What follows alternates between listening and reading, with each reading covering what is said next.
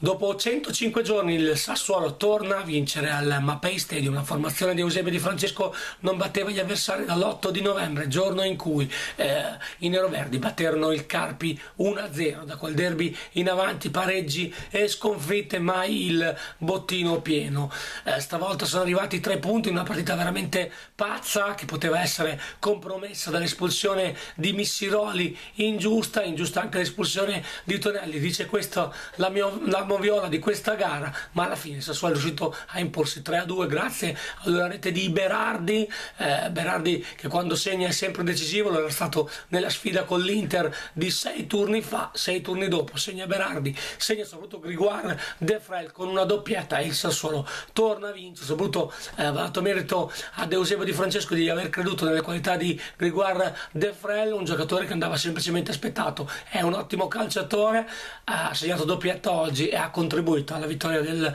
Sassuolo, Sassuolo che ora